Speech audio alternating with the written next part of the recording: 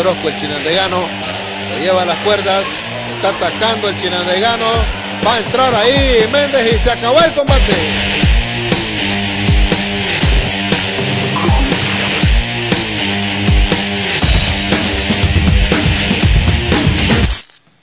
Entrevistar a la nueva generación de atletas es soñar junto a ellos mientras escuchas su voz. Una experiencia que quieres compartir con todo el mundo. Sacrificio, disciplina y entrega por querer ser el mejor y alcanzar un sueño. Este es el caso de José Orozco, uno de los nuevos prospectos en nuestro país en el boxeo.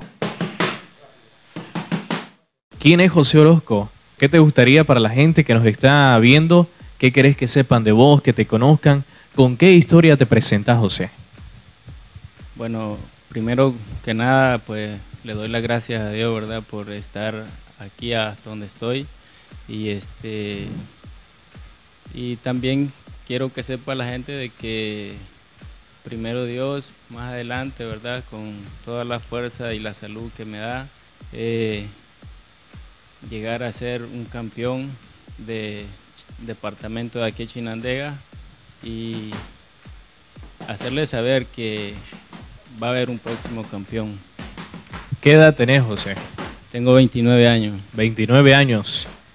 ¿Cuándo te diste cuenta que querías entrar en este deporte eh, del fugilismo? Bueno, Fíjate que yo comencé en este deporte cuando estuve en el ejército. Ahí comencé esta carrera, pues la verdad no era mi intención este, meterme en lleno en el boxeo, pero estando ahí en el ejército, pues me influyeron bastante ahí en el deporte del boxeo, entonces ahí fue agarrando eh, este, este deporte, pues me gustó y lo seguí impulsando muy, muy fuerte. ¿Cuánto tiempo pasaste en el ejército? En el ejército pasé como ocho años. Ocho años estuviste en el ejército. Eh, ¿Te sentís totalmente preparado físico y psicológicamente para enfrentar nuevos retos en este año? Sí, claro, claro, que me siento muy bien, muy bien preparado y aquí con el entrenador Reinaldo Lara pues eh, hemos estado trabajando ahí muy fuerte y Sé que los retos que vienen son muy fuertes, pero estamos trabajando fuerte para eso. Bueno, la verdad es que me lo han dicho muchos amigos, eh, la gente, también de que tengo talento de estar ahí y, y lo hago también porque me nace del corazón hacerlo. ¿Cómo se sintió tu primera victoria?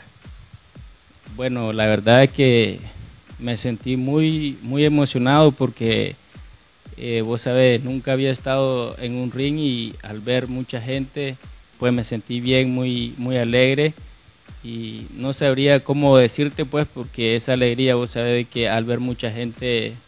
Euforia completa. Sí, claro.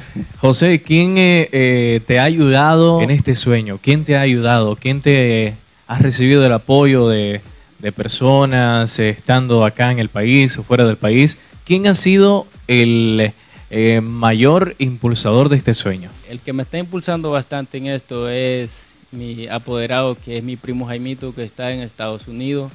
¿verdad? Eh, también mi tío Jaime también está apoyándome muy fuerte y también toda mi familia acá de acá de Nicaragua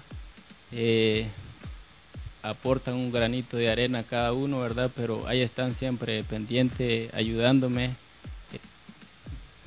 Pues la verdad es que yo digo que le tiene miedo a, que lleguemos a perder, pero yo creo que eso no va a pasar porque por eso estamos bien preparados y vamos a salir con la victoria.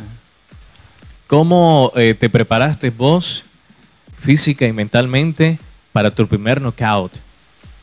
yo comencé a prepararme mucho más de que cuando peleé con la revancha con Urbina. Eh, no me gustó el resultado que hubo ahí. Entonces de allí vine preparándome más porque digo yo, eh, tengo que prepararme mejor porque vienen más cosas duras y decir que vienen más peleadores fuertes y tengo que prepararme mejor. ¿Cuál es tu ídolo en el boxeo?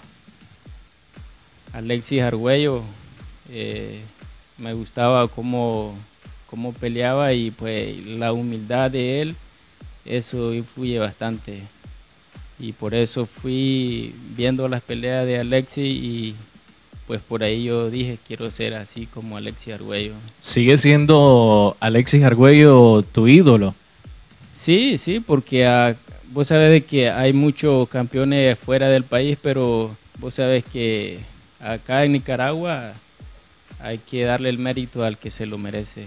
Pues yo le digo a los compañeros que están en este deporte, pues de que eh, se metan en lleno en esto, porque aunque no es fácil, ¿verdad? Esto es muy duro y hace uno un sacrificio muy, muy grande, ¿me entiendes? Eh, pero al final de todo esto sale con una recompensa que uno no lo espera, ¿verdad? pero es duro y yo le digo a esos muchachos que están allí entrenando de que se aparten de los vicios y que se metan en lleno que esto le va a dar resultado. Ahorita para este, para este combate pues ya estamos preparados y mentalmente, física y mentalmente ¿verdad? estamos preparados para este combate. Primero Dios, salgamos con las manos en alto y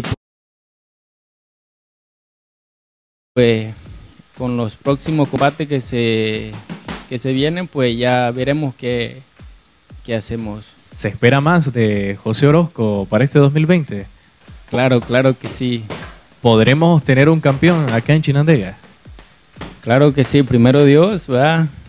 Eh, tendremos un nuevo campeón aquí en Chinandega y vamos a hacer y esforzarlo mucho para tener esos resultados.